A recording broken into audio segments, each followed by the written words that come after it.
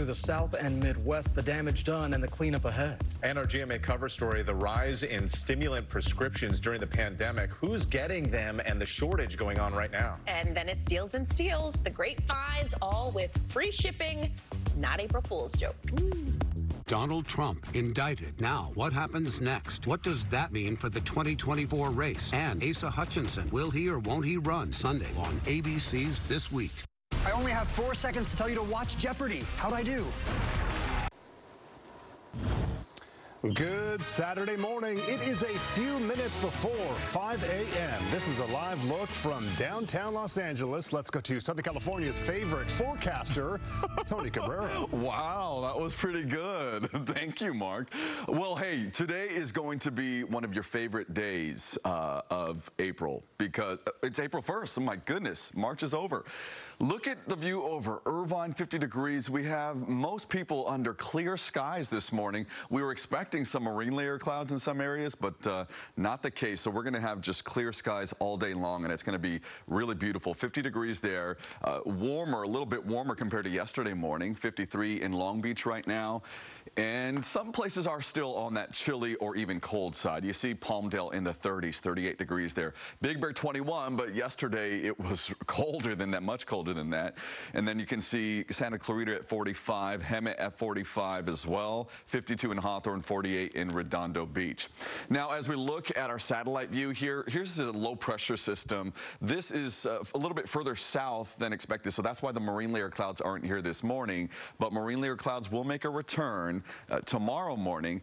We do have a ridge of high pressure that's going to bring in these warm temperatures today, and then that will continue into tomorrow, but fade away quickly, unfortunately, because of a system that we have to the north of it. It's going to bring snow to the Sierra. This is not an atmospheric river storm, so that's the best news out of all this. But watch as it comes down along with this cold front here.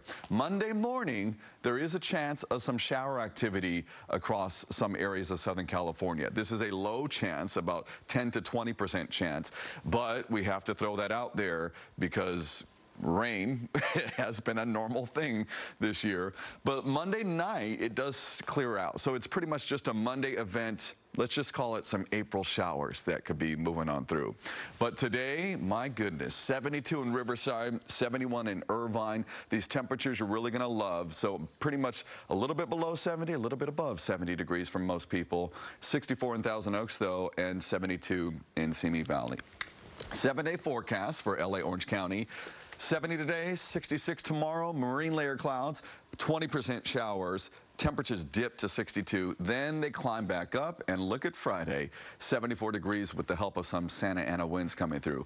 Valley's Inland Empire, sunny skies this weekend, temperatures dip to 61. Those showers come through Monday, and then Tuesday and beyond, sunny skies, warm on Friday, 74 degrees. Beach areas, surf two to three feet, swells out of the west. Temperatures dip to 58 by Monday, then warm back up to 65 by Friday. So we just have uh, one day where it dips down low. Mountain areas, snow showers. We're talking about a dusting of snow. Grapevine could have maybe an inch of snow, though, through this as it's uh, further to the north. And then the deserts, upper deserts, 68 degrees to 69 tomorrow. Palm Springs reaching 82 tomorrow, and then dipping back down those high deserts to 50 degrees Monday. It's going to be really windy too with that system Monday, but nothing compared to what we've seen, right? Yeah, we've been through a lot in the past few months or so. Tony, thank you. Now let's take a look at some of our headlines this morning. Powerful tornadoes continue to tear across the Midwest, causing massive destruction. The video just coming in. Heads up for drivers. The major freeway closure happening this weekend. The areas you'll need to avoid. And a wild scene caught on camera. Details in a woman's arrest after she stole a car and pinballed around a parking lot while the suspect couldn't control that car. Live from ABC 7, this is Eyewitness News. Good Saturday morning. Now is 5 a.m. I'm Mark Robles. And I'm Irene Cruz. And we begin this morning with a terrifying assault and carjacking. It happened at a local grocery store parking lot. Eyewitness News reporter Amy Powell has details and new video of the frightening attack danger and chaos in the parking lot of a Ralph store in Agoura Hills. A 75-year-old woman putting groceries in her car when a suspect tries to snatch her purse. And the woman came up from behind her and grabbed, just grabbed her purse and knocked my mom to the ground. And immediately the woman stopped her.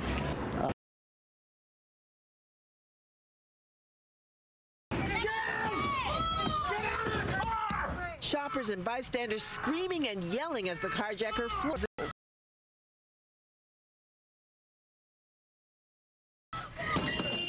The suspect nearly running over the owner of the car. My mom was laying on the ground right next to this her own car as this woman was frantically trying to pull out. Her mother suffering only minor injuries.